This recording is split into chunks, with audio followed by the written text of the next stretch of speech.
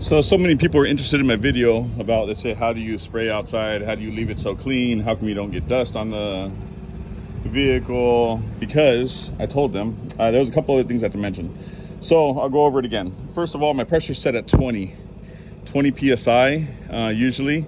Um, I do go a little higher. Um, so 20 PSI, maybe lower when I first mix the clear coat. The clear coat is mixed 50% uh, reduced. Uh, so it's even, even more, even 60, 70 on the first pass. The reason I do that is so that when the atomization is so tiny that um, you don't get the um, fisheye or you don't get the, not only don't you get fisheye, but you don't get, um, you don't get um, too big uh, splatters, you know, they're real small, real fine splatters, as you can see, maybe a little bit, you know, just uh, real fine.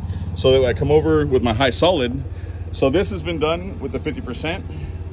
This is getting done so that I have the super high gloss with, um, now I mix the clear.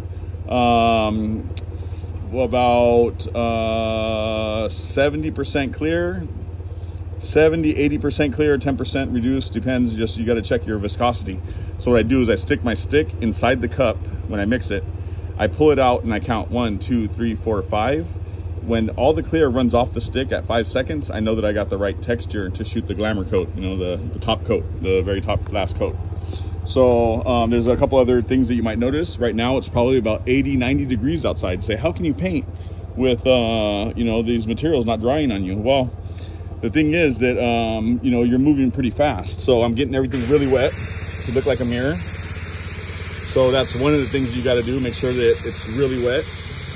And basically a lot of painters don't know how to stop. So what I do is I paint it until I see my reflection. So that's an amazing way to learn how to stop. So you can see now down here, very low, low um, reflection. Now up top, you're gonna see a high reflection. So now I got my high glamour coat solid, very little reduced. The only reason it's reduced is to come out of the gun because uh, at 100% it's uh, very thick and the atomization is very high and it doesn't leave it very shiny. So here's my gloss coat coming on. And you'll see how the reflection is looking beautiful.